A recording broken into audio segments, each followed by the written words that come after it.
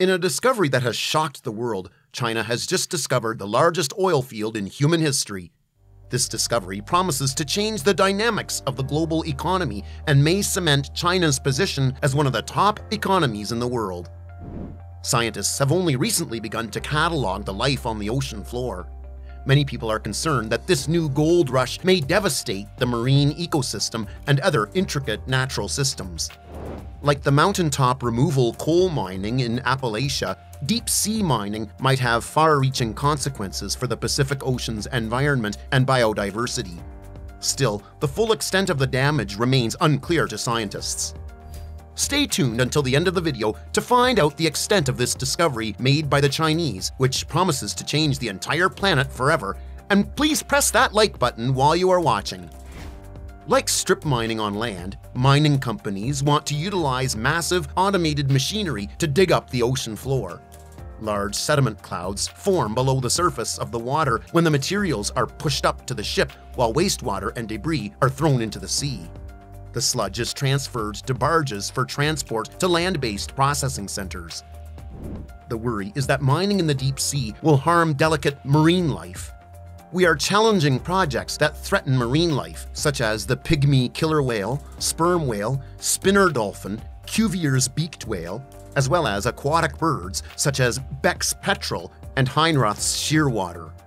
Clams, mussels, corals, subworms, snails, xenophyophores, the larval supply, essential enzymes, and genetic resources are all directly affected by the loss of life and natural contours on the seafloor at mining sites. These activities are being conducted in an isolated location with limited regulatory monitoring and no public watchdogs. In 2014, the International Seabed Authority authorized seven further seabed exploration permits, increasing the total number of permits awarded worldwide to 26. However, the authority did not anticipate accepting environmental criteria until late 2016. While the United Nations Convention on the Law of the Sea established a framework for regulating international waterways, some countries, like the United States, have chosen to opt out. Drilling for oil and gas beneath the ocean's surface is widely regarded as unethical. On the other side, there are several reasons to infer that it has a favorable overall impact on the country. Oil extraction can have many positive effects, including advances to the GDP, global stature, and the ecosystem. That is, the country's oil industry continues to get consistent funding. China, which has 61 offshore platforms, has recently unveiled its frightening new oil discovery, which will forever affect the entire world. This finding, made by Chinese experts of the nation's first big offshore and deep stratum gas field, signifies a considerable improvement in the nation's research world. A gas field in the sea to the southeast of Hainan province contains reserves confirmed to be larger than 50 billion cubic meters. China National Offshore Corporation, CNOOC, recently announced that the new gas field would be called Baodao 21-1. Here we have a significant breakthrough that will help the Chinese government achieve its goal of advancing deep sea exploration. This is crucial if China wants to remain energy independent. Offshore oil and gas exploration often focuses on areas with deep water, defined as water deeper than 300 meters. Wells with a depth of more than 3,000 meters are also considered deep. Experts suggest that the Baodao 21-1 gas field may be found in the deep sea region southeast of Hainan Island. It can operate at depths of over 1,500 meters, and its completion well can reach over 5,000 meters. The prospects of deep sea mining. Over several decades, international leaders have gradually accepted that climate change has come to stay. The business and public agencies have just begun making initiatives that turn rhetoric into reality. The transition from theories to practice presents challenges for agents that were not apparent in the theoretical stage. It is becoming increasingly apparent that the green energy transition cannot happen without more money being put into natural resources. The Geological Survey of Finland, GTK, recently published a study analyzing the density of metals needed to make the first generation of electric vehicles and the power stations necessary to store intermittent electricity generated from renewable sources. They predict that to meet the demands of just one generation of electric vehicles, about 1.39 billion EVs, more than 280 million tons of minerals and another 2.5 billion tons of metals will be needed for power storage projects. The world's nickel, cobalt, lithium, and graphite deposits are considered inadequate to support such a big project. The current realignment of world power will also significantly affect the availability of resources and the ESG characteristics they possess. Indonesia is the leading nickel producer and home to the world's most biodiverse biome. Russia's Nornickel operates the world's largest and most cost-effective nickel mine. The Democratic Republic of the Congo, DRC, is not only the world's most significant cobalt producer, but also a country with a wide variety of climates, from tropical rainforest to savanna, and a widespread problem with the use of child labor. China mines 64% of the world's graphite, controls a large portion of the DRC's cobalt output, and operates the world's largest refineries for lithium, nickel sulfate, manganese, and graphite. China's lucky strike.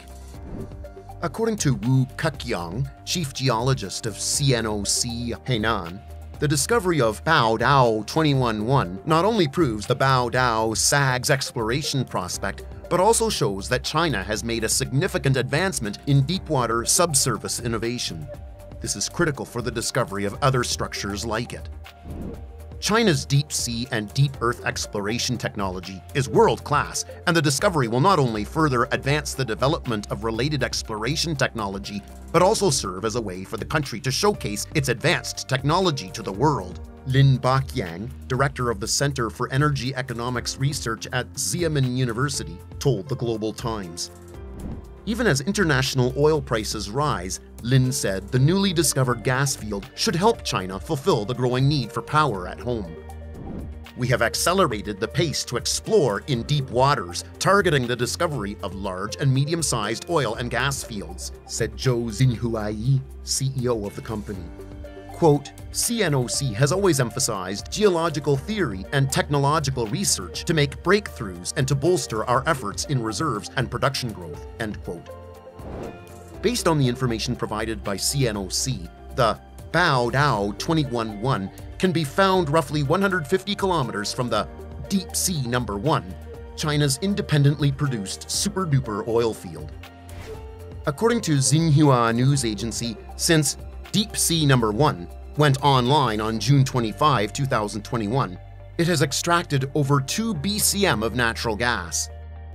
China has made great strides in a short period in expediting marine research, and this discovery is the most significant advance in the Songnan Baodao area in more than five decades. The new Baodao 21-1 gas field is found in the deep sea southeast of Hainan Island, in addition to drilling deeper than 5,000 meters, the maximum operational water depth also exceeds 1,500 meters. CNOOC reported that the Baodao 21-1 gas field is located in Baodao Sag, Qiongdongnan Basin, western South China Sea. The water depth ranges from 660 to 1,570 meters. The main gas-bearing layer is the Paleogene Lingshui Formation, and the discovery is condensate gas reservoirs. The discovery well Baodao 21-1 was completed at a hole depth of 5,188 meters, encountering 113 meters of pay zone. The well is tested to produce an average of 587,000 cubic meters of natural gas per day. Chinese governmental bodies reviewed the discovery and certified the proven in place of natural gas and condensate oil at over 50 billion cubic meters and 3 million cubic meters, respectively. About 150 kilometers separate it from the ultra-deepwater gas field known as Shenhai Number 1. It has been said that marine geological structures are incredibly intricate. The business angle Following the announcement of a significant discovery at its crude oil and natural gas project in the South China Sea, the stock price of Hainan Mining jumped by the daily limit.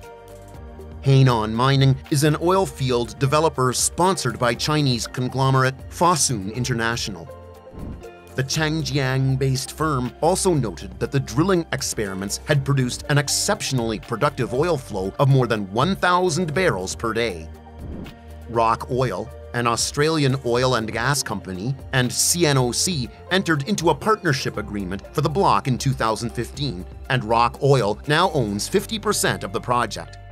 Fosun International sold 51% of Roc Oil to Hainan Mining in 2019, and Fosun now owns a majority share in Hainan Mining.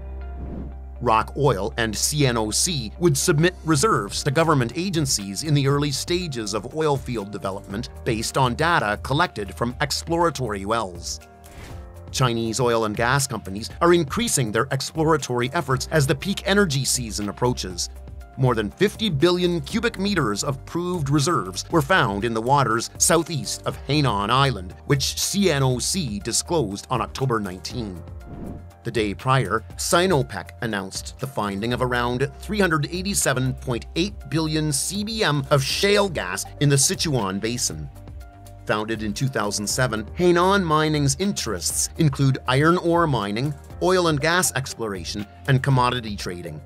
The firm's first half revenue grew 34% from a year earlier to CNY 2.7 billion, $372.7 million US while net profit declined 24% to CNY 437 million due to rising operational costs, its financial report indicated. Conclusion as the globe shifts to renewable energy sources, the International Energy Agency predicts that carbon fuels use will peak or stabilize in the following years. This is encouraging news in light of the upcoming 27th United Nations Climate Change Conference COP27, which will discuss the, quote, potential of innovation and clean technologies, end quote, to resolve global warming. However, the fact of the rocks and resources needed to develop these green technologies is often at odds with their promise. Countries like China and private companies are driving the agenda for deep sea mining to retrieve polymetallic nodules from the bottom of the ocean. They claim these potato sized nuggets, loaded with precious cobalt, nickel, fuel fossils, and other battery metals, could be the answer to a more sustainable future for humanity.